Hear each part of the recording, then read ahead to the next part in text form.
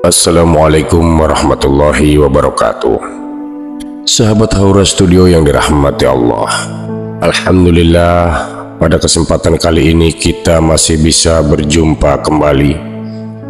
Dan mudah-mudahan sahabat semua dalam keadaan sehat walafiat Dan dalam curahan rizki yang melimpah ruah Yang datang dari arah yang tak terduga. Amin ya rabbal alamin dalam video kali ini kita akan bersama-sama menjelajahi sebuah lantunan nasihat bijak dari Syekh Abdul Qadir Al-Jailani yang kami kutip dari sebuah kitab klasik yang berjudul Syekh Abdul Qadir Al-Jailani dan rampai pesan yang menghidupkan hati. Bagaimanakah nasihat yang beliau sampaikan? Mari kita simak video ini sampai dengan selesai. Sahabat Haura, Syekh Abdul Qadir Al-Jailani menuturkan, Hai Sufi, pakailah kesufianmu bermula dari nurani, kemudian hati, jiwa, dan terakhir badan. Zuhud bermula dari situ, bukan dari luar ke dalam. Kala nurani bersih, bersih pula lah hati, jiwa, anggota badan, pakaian, dan makanan bahkan semua tingkah laku. Bagian rumah yang pertama kali dibersihkan adalah bagian dalam, baru kemudian bagian luar, bukan dari luar ke dalam, tetapi dari dalam keluar. Sahabat Haura, dalam perjalanan spiritual yang dikenal sebagai tasawuf atau kesufian, terdapat suatu konsep yang mengajarkan bahwa transformasi sejati dimulai dari dalam diri sendiri. Seorang sufi diajak untuk memulai sebuah perjalanan kesufiannya dari nurani, yang merupakan inti ataupun pusat keberadaan spiritual seseorang. Dari sini barulah langkah-langkah berikutnya, seperti membersihkan hati, merawat jiwa, dan bahkan memperhatikan kondisi fisik badan akan mengalir secara alami. Juhud atau kekayaan spiritual yang dicapai dengan menolak kesenangan duniawi tidak dimulai dari pengorbanan fisik ataupun penampilan luar semata akan tetapi berasal dari kedalaman batin yang bersih dan suci sebagaimana Syekh Abdul Qadir menyatakan ketika nurani bersih maka hati, jiwa, anggota tubuh, pakaian, makanan, dan bahkan seluruh perilaku akan menjadi bersih pula. Metafora membersihkan rumah juga digunakan untuk menjelaskan konsep ini dengan lebih jelas lagi.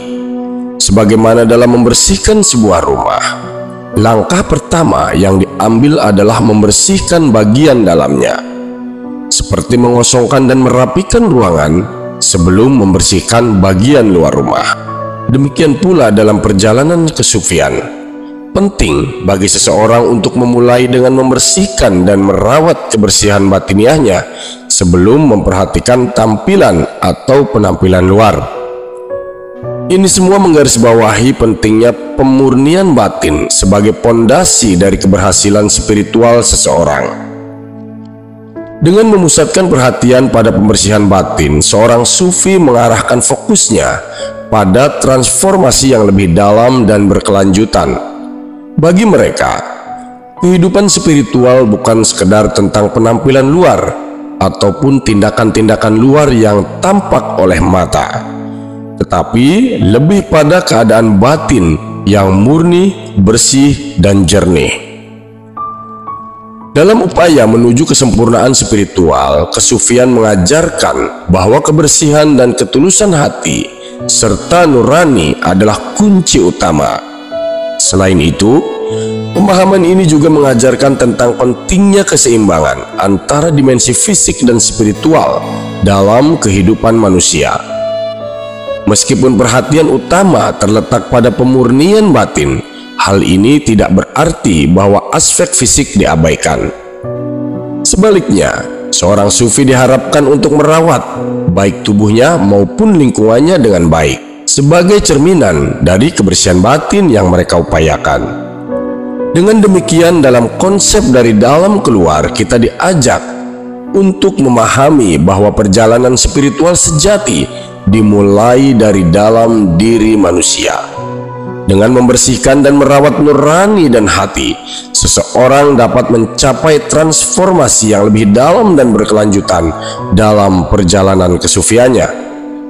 Kesadaran akan pentingnya kebersihan batin juga mengajarkan tentang keseimbangan antara dimensi fisik dan spiritual yang merupakan bagian integral dari kehidupan seorang sufi. Jadi kesimpulannya, konsep dari dalam keluar adalah dalam perjalanan kesupian mengajarkan bahwa transformasi sejati dimulai dari kedalaman batin seseorang. Dengan memulai dari nurani dan hati yang bersih, seseorang dapat merangkul perubahan yang lebih dalam dan berkelanjutan dalam perjalanan spiritualnya. Pentingnya menjaga keseimbangan antara dimensi fisik dan spiritual juga ditekankan karena kebersihan batin yang bersih mencerminkan pada perilaku dan lingkungan fisik seseorang. Dengan demikian, kesupian tidak hanya mengajarkan tentang membersihkan hati, tetapi juga mengarahkan untuk merawat kebersihan fisik dan spiritual sebagai satu kesatuan yang utuh dalam mencapai kesempurnaan diri. Wallahu a'lam. Demikianlah sahabat, sebuah nasihat bijak dari Syekh Abdul Qadir Al-Jailani. Semoga kita semua dapat mengambil hikmah yang bermanfaat. Amin ya robbal alamin. Terima kasih sudah menyimak video ini sampai akhir.